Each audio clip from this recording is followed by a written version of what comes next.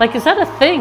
Like, is that really a thing? You go to the concert to sing along? I didn't know that. That's pretty cool. Hi there, I'm Rahel Limor. I'm from the USA. I came to Korea almost two years ago and I'm working in the entertainment industry. I am also a singer-songwriter. I have seen many musicals and some concerts and it's very exciting because I used to watch them on the television in America and now I get to see them up front in person. That was last year. I went to Asian something or other. It was a multicultural festival featuring uh, many Asian countries and the main attraction, of course, was uh, Xia Kim Jun-soo. I didn't hear about that, no, but I imagine that it would probably be really fun for the audience. And they're singing along with their favorite singer, which is probably really exciting. And I imagine as a singer and performing artist, it's really thrilling for the artist as well, because, uh, you know, to know that their fans love them that much and love their songs so much and they sing along, I think that's thrilling. Okay. Oh, you know, Korean audiences are like really, the fans are like fantastic. They're so involved and they're so excited. Look at them. One person on stage and look at the huge fan base and they're all singing the songs. But look, they all know the songs and they're all singing. Millions of them. look at how many fans there are. I mean, I just, that's got to be a really nice feeling, you know, when everybody knows the song and they're singing along. Like, is that a thing? Like, is that really a thing? You go to the concert to sing along? That's really, you're going because you can sing along? I didn't know that. That's pretty cool. No seats, you got to stand up. I like those things that they have in their hands. Uh, you don't have to hold up your cell phone. Well, you know, they must listen to these songs a million times. How do they know the lyrics so well? I'm an English speaker and I don't even pick up on the lyrics. Just the culture. Yeah. That's fun.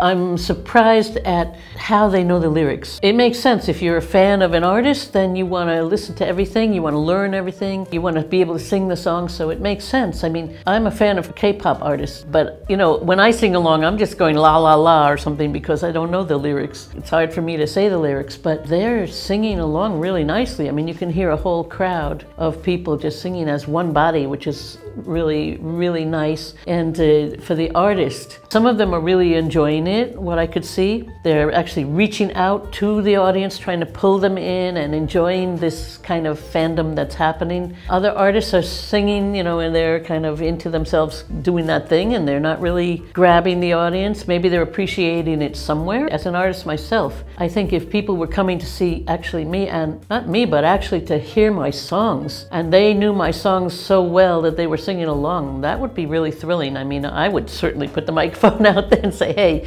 you sing this one, you know. Uh, if in the US they have that kind of culture, know, I think every artist has its fan base in every country. I also used to live in Israel, and Israel is a big singing society, and they will sing along with everyone. And also, I see when foreign artists come, wow, they can't get enough of it, you know. So I think, but in America, I've only attended a few concerts um, of big artists when I was much younger.